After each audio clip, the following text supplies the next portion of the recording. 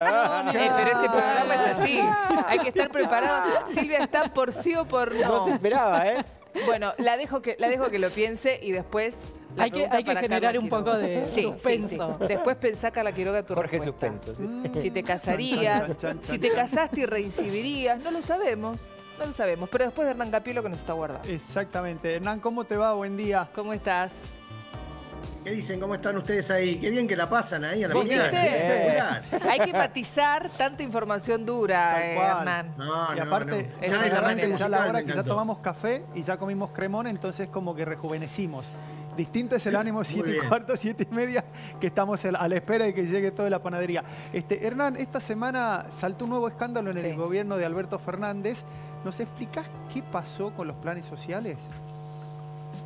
Bueno, mira, eh, fue una investigación que viene con sigilo la justicia llevando adelante desde diciembre prácticamente, durante todo el verano, porque desde que eh, se abrió en el Ministerio de Seguridad una línea anónima, la 134, se empezaron a recibir llamadas eh, vinculadas con eh, extorsiones por parte de quienes recibían el plan potenciar trabajo. Sí. Y referían a que dirigentes de organizaciones sociales eh, de algún modo les estaban privando el acceso a ese plan o los extorsionaban porque los presionaban para exigirle hacer cosas a cambio de recibir el plan. Y entre esas cosas acudir a las manifestaciones. Mm. Si dejaban de acudir a las manifestaciones, no recibían eh, el plan que le correspondía. Hernán, perdón, te Eh, hago un esta- paréntesis ahí. Por eso fuimos entendiendo y atando cabos qué nos pasaba, porque hemos estado en muchas manifestaciones, cuando los cronistas se acercaban y les preguntaban a la gente, ¿por qué estás acá? No, no sé, me dijeron que venga. Algunos no querían ni dar la cara. No entendían qué Tal hacían cual. ahí.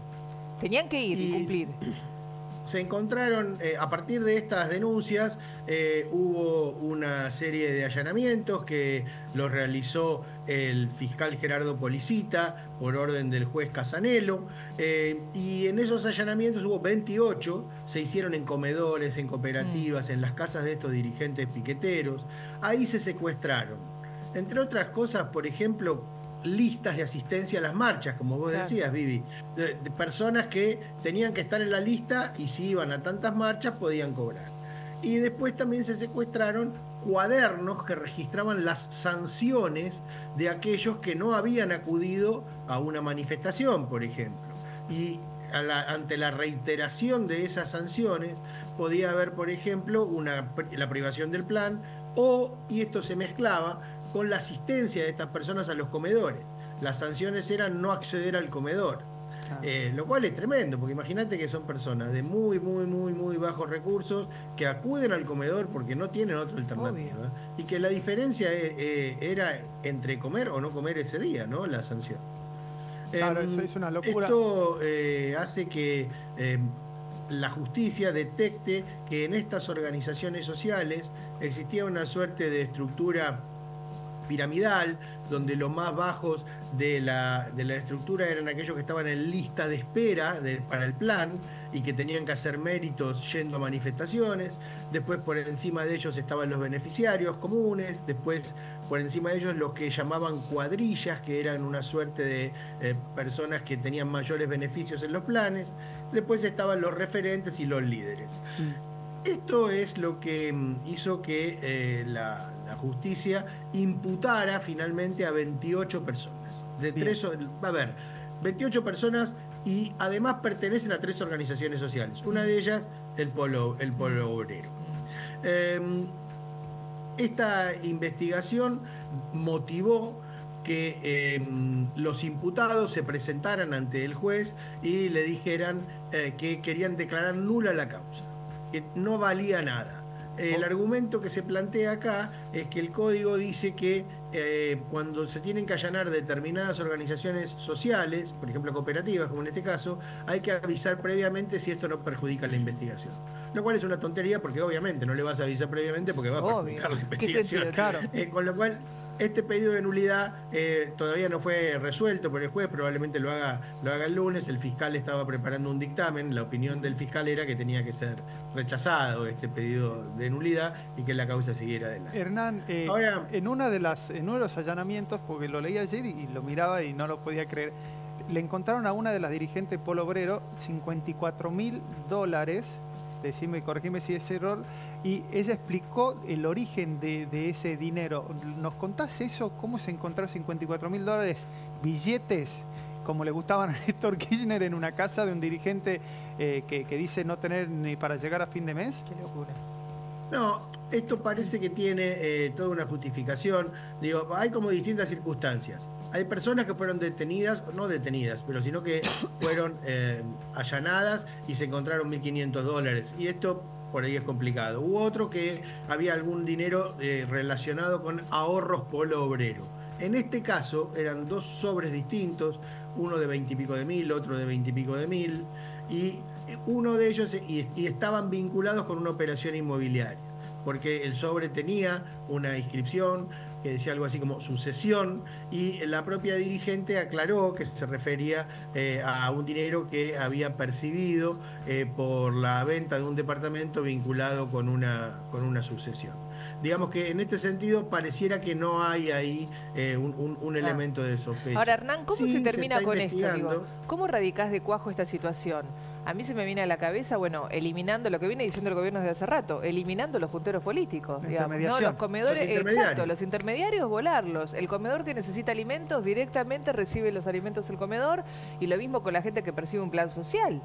Chau intermediario. Mira, Vivi, esto es lo que se anunció en el gobierno de Macri, lo que se anunció ahora. Eh, lo que sucede es que de todos modos, aunque la gente reciba el, dinero de, eh, en su tarjeta alimentar, por ejemplo, que es otro plan, pero digo, eh, siempre hay una unidad de gestión que está en el territorio y esta unidad de gestión de estos planes es la que manejan estas organizaciones. Eh, efectivamente, es correr a esta persona del medio. Vos recordarás que en un momento hubo una disputa con los intendentes también que decían nosotros queremos ser lo que estemos en ese lugar, porque nosotros somos el Estado en el territorio, no esta gente que está ocupando nuestro lugar. Porque obviamente también ahí hay una disputa política, ¿no? El que te da de comer es aquel al que vas a tener que ir a agradecerle cada dos años cuando hay elección. Em, hay una novedad en las últimas horas, em, que es que eh, se está abriendo una nueva línea de investigación mm. vinculada con la parte económica, pero no con el dinero que tenían en los allanamientos, sino con el, giro de las, eh, de las cooperativas o el giro de estas organizaciones. Hay una investigación que se está haciendo eh, en un allanamiento que ocurrió ayer, se mantiene todo en secreto, esto se impuso en las últimas horas eh, y vamos a ver a dónde nos lleva esta nueva pista o esta nueva línea de investigación.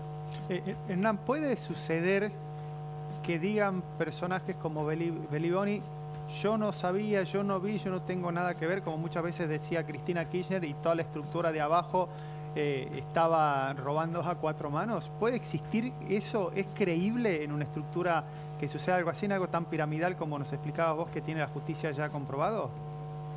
Bueno, mira, eh, acá estamos hablando de un dirigente piquetero allanado que es la mano derecha de Beliboni. Eh, y esto, eh, por ahora no está el imputado, no hay ninguna imputación concreta en, su contra y de hecho no está tampoco citado en este momento. lo que sí es que las personas que lo rodeaban en la organización sí están siendo investigadas porque es, muy difícil que no sepas. pero es que por eso mismo, a mí lo, se, se, me vino, lo primero que se me viene a la cabeza es José López, por decirte una cosa. Eh, o sea, ¿cómo no el, Cuesta creer. Sos muy, o sea, sos muy eh, necio o sos una persona incapaz de estar dirigiendo algo si los de abajo hacen lo que quieren y vos no lo viste. Ahora, eh, dijiste algo, Hernán, en el allanamiento a esta piquetera, 54 mil dólares. Yo que dijiste, bueno, eso puede ser, nada. Pero después eh, ¿encontraron sobres con dinero ahorro polo obrero? ¿Con dólares? Sí, eso es, lo, que me comentaban. Y también algunos manuales de, la organización. No sé si en dólares, eh, sí sobres con, ah, dinero. Hay ahí una investigación pendiente que está vinculada justamente con este giro. Igual, a ver, el polo obrero tenía una política de eh, reclamar, pedir voluntariamente el 2% de lo que recibían los destinatarios de los planes para el sostenimiento de la organización. Bueno, eso también es parte de lo que se investiga.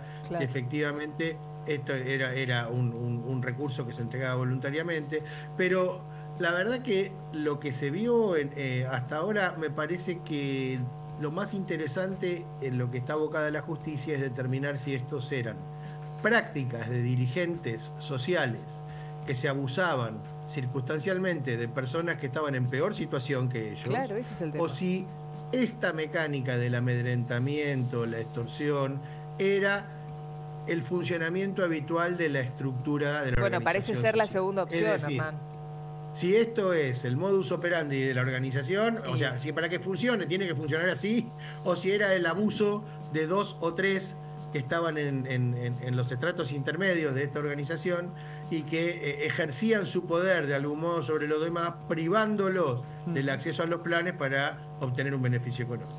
Hernán, ¿cuál es la, eh, la, pena que reciben en caso de encontrarse los culpables?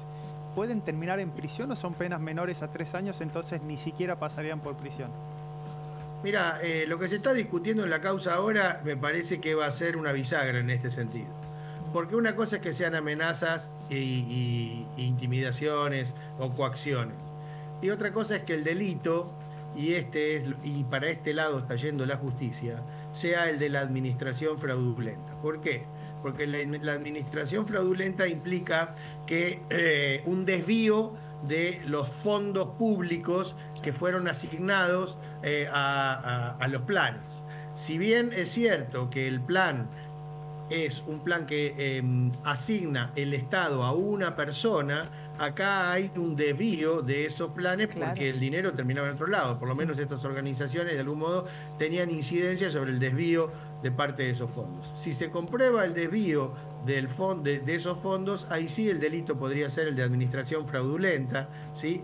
Y ahí sí hay, hay una pena que podría llegar a ser de seis años de prisión, que puede ser en concurso con los otros delitos que, mencionamos. Así que por ahí también está yendo la investigación a ver si hay o no hay ese tipo de delito. Hernán, o sea que va a ser una semana también con, con, mucha información al respecto. Vamos a estar atentos y la vamos a seguir de cerca. Te mandamos un beso enorme. Gracias por este contacto. Por favor, y sigan divirtiéndose. Muchas gracias, tengas un buen día. Diversión, más información. Hay un poquito de cada cosa, ¿viste? De cada cosa, Ingredientes para que la comida salga rica.